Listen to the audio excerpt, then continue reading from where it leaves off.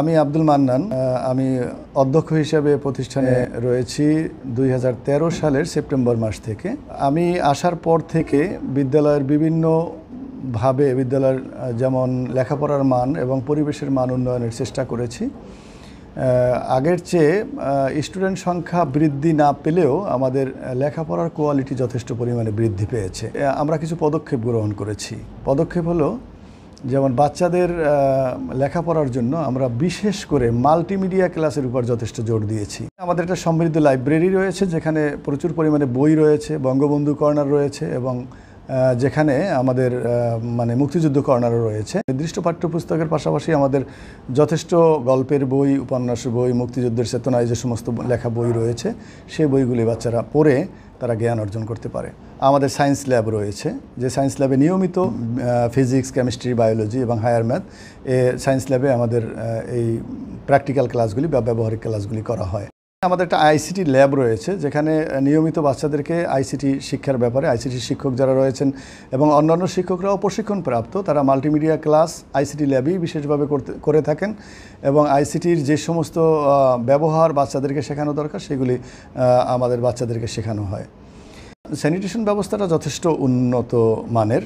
যেমন বাচ্চাদের জন্য পিওরিফাইড ওয়াটার রয়েছে, প্রতি ফ্লোরেই পিওর ওয়াটারের জন্য পান করার জন্য ওদের যথেষ্ট পরিমাণে পর্যাপ্ত পানি রিজার্ভ থাকে। ছাত্রদের জন্য আলাদা ওয়াশগুলো এবং বালিকাদের জন্য আলাদা ওয়াশবলক রয়েছে এবং বালিকাদের জন্য রয়েছে সেখানে তাদের পিরিয়ডকালীন যে সমস্ত প্রয়োজনীয় সামগ্রী সেখান থেকে দেয়া হয়। সেক্ষেত্রে আমাদের দুজন শিক্ষক রয়েছে, যেই শিক্ষক দুজন হলো ক্রীড়া শিক্ষক প্রভাতী এবং ক্রীড়া শিক্ষক দিবা শাখা।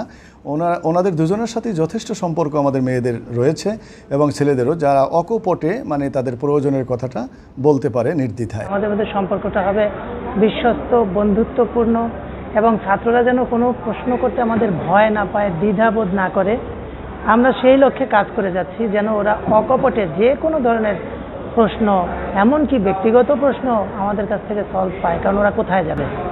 আমরা আসলে সরকারের কারিকুলাম মেনেই বর্তমানে ছাত্রদের সাথে ছাত্র শিক্ষক বন্ধুত্বপূর্ণ সম্পর্ক বজায় রেখেই আমরা এখন শিক্ষাদান করে থাকি বা পাঠদান করি হ্যাঁ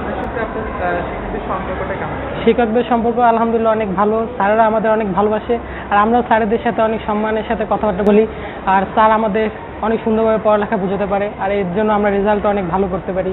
লেখাপড়ার পাশাপাশি এই বিকাশ ঘটানোর জন্য, তাদের মানসিক বিকাশের জন্য যে সমস্ত প্রয়োজনীয় পদক্ষেপগুলি নেওয়ার কথা, সেগুলি আমরা মিটিং করে আমাদের একাডেমিক কমিটি রয়েছে। এই একাডেমিক কাউন্সিলে মিটিং করে আমরা সেই সিদ্ধান্তগুলি গ্রহণ করে, সেগুলো বাস্তবায়ন করি। একুশে, আমাদের এসএসসি রেজাল্ট হয়েছে যেমন ninety three point four seven এবং এইচএসসি রেজাল্ট হয়েছে eighty two point seven eight percent তো শিক্ষার্থীর সংখ্যা হলো আমাদের ষোলোশো চল্লিশ জন শিক্ষার্থী রয়েছে, পঁয়ষট্টি জন শিক্ষক রয়েছে। অর্ধেক পরিমাণ, কেউ ফুলফিরি কেউ হাফ ফ্রি, এরকম আমাদের শিক্ষার্থীরা রয়েছে যারা এখানে পাঠদান করে। বিশেষ করে কোভিডের পরে আমরা এই ব্যবস্থাটা বেশি করে নিয়েছি, যাতে করে কেউ যেন ঝরে না পড়ে।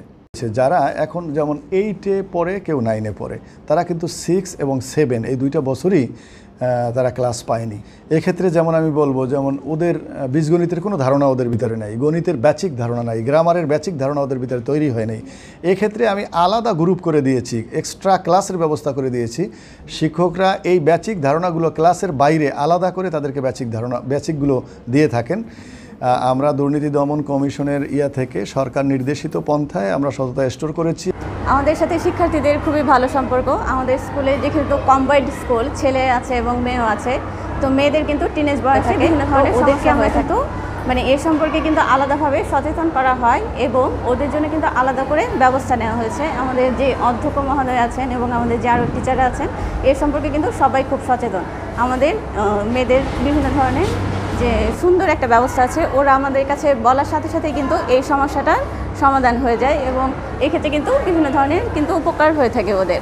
বাড়িতে বসে ওরা যে সুবিধাটা পেত, এখন ওরা কিন্তু স্কুলেই এই সুবিধাটা পাচ্ছে।